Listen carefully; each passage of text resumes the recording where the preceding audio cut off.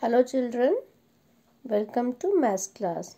Today in the math class we will learn new concept full, half and empty. Let's understand this concept full, half and empty by doing an activity. Are you ready for activity? Okay. Children tell me what is this? Yes, this is a glass. Is there anything in the glass? No, there is nothing in the glass. Okay? Children, look at this glass. This is full of water. Okay? Look here. This is this is having water inside.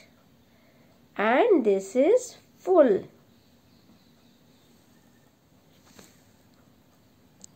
Children, look here. This glass is having water, but this is not full.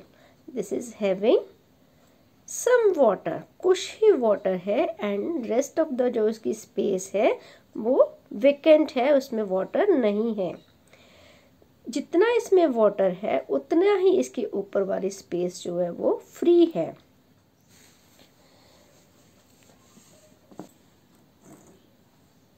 Children, look at the glasses. If we look at the glasses, we find किसी glass में water full है किसी में थोड़ा सा water है और कोई बिल्कुल ही वेकेंट है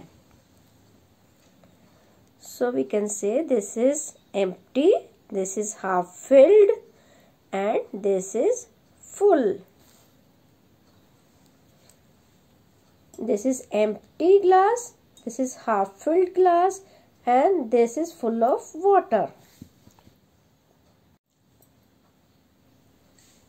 Now children, look at this ball.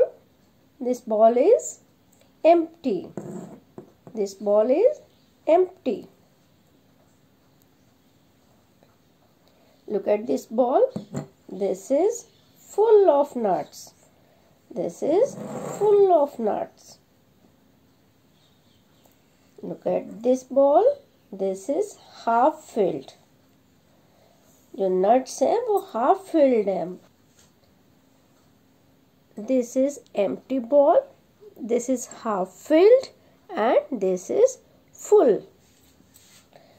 Empty, half filled and full. So children, जिस कंटेनर में कुछ भी नहीं होता सो हम उसको बोलते हैं एम्प्टी क्या बोलेंगे?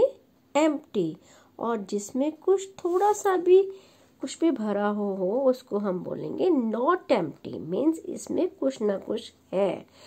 अगर जितना इसके अंदर कुछ है एग्जैक्टली सेम ऊपर उतनी ही स्पेस फ्री है तो हम उसको बोलेंगे half full if there is no more space in the container it means it is full.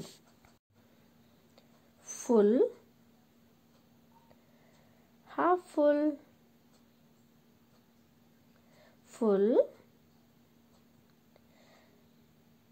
half full empty